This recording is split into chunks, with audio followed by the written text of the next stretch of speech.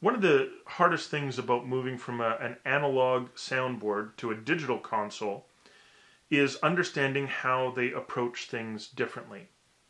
When you've got an analog soundboard, everything is hardwired, just like uh, a manual typewriter. In a manual typewriter, there's a physical connection between the key that you press and the hammer that strikes down on the page.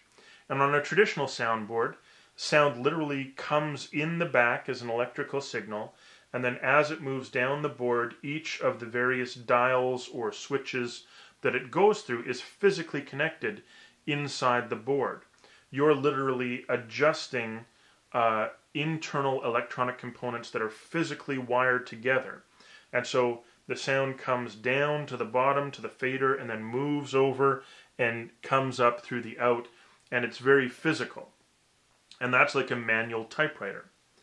And when you move from a manual typewriter to a word processor, on the surface it seems like much the same thing. You press the A key and an A appears on your screen. But of course, a manual typewriter and a word processor on a computer are two very different things. In addition to being a word processor, a computer can also play video games it can run a spreadsheet or a database. And while it uses the same keyboard to accomplish all those things, when you're playing the video game, you might push a particular key to move a character in one direction uh, or back again the other way. So when you've got a digital soundboard, what you see here are controls that operate in a very different manner than what you might be used to on a traditional soundboard layers are one of the most important thing to understand about dealing with a digital soundboard. Because here we have channels 1 through 24, and we have scribble strips which allow us to label them appropriately. Uh, if you can see closely enough, you'll find that I've renamed channel 1 podium. And so that is uh, a way to, to keep track of what's going on. So I can, with my touchscreen, bring up the name and change it to whatever I want. Right now it says podium, but I could change it to something else. Now, because I can select a channel, and hopefully you can see the channel moving from one to the other here, I can select a channel and then adjust the gain on that particular channel, then select another channel and use that same gain dial to adjust the next channel. So these hardwired, uh, uh, dedicated to a particular uh, function dials can be used on any channel that I like. I just need to select the channel that I want to use them on. But what if I want to do more than just channels 1 through 24. This is a 48 channel board. What if I want to adjust channels 25 through 48? Well, for that, I move to layer B. Now, it may not seem like much has happened, but if I adjust a few of these faders, and then move back to channel A, and adjust a few of these faders, you can very quickly see the difference when I move to B as opposed to A. Now, when I move between these two layers, you see the sliders moving up and down, and from an analog perspective, that seems like things are changing. But if I move from a word processor to a spreadsheet, on the computer screen, it looks like things have changed, but I didn't type anything into the word, press, word processor. I didn't type anything into the spreadsheet all I did was change the view from word processor to spreadsheet. Back to word processor, spreadsheet. And so you can visualize this by saying that layer A, when you move to layer B, it's like you've got an additional 24 more sliders off to the right of where you started. And then I can move to layer C. And you notice here that my scribble strips have all changed. They're color coded by the sort of uh, channel that it is. And you note that this one here is yellow and it is the main.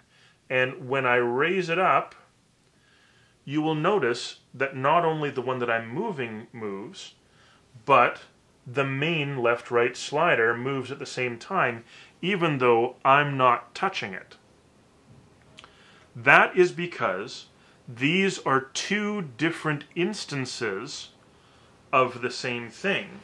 So if I duplicate my screen and have two monitors that are both showing my word processor, then I'm going to see everything twice on those two different screens, and that's what hap is happening here. Those are two different views on the very same piece of information. So if I select this channel, you can see here that I can make adjustment, adjustments to the equalization.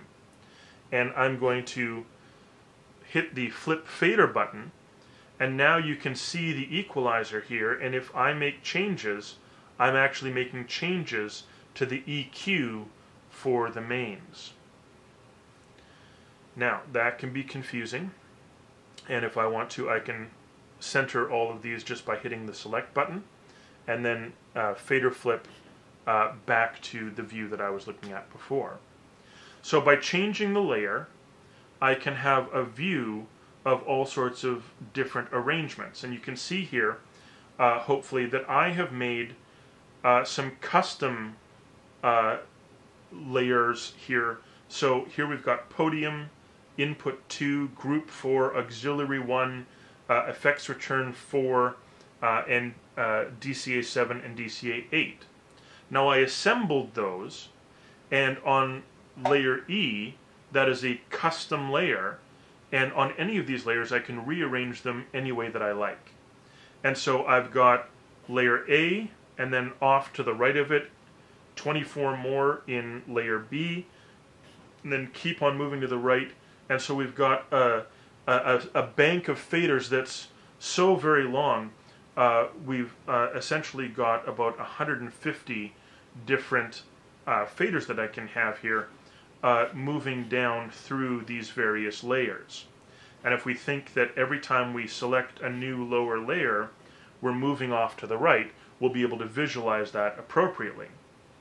Now, over here on the right-hand side, here we have our main left-right. And when this is selected, when I adjust the faders, what I'm adjusting is the amount of audio coming out of the main left-right speakers. But we have all these buttons over here.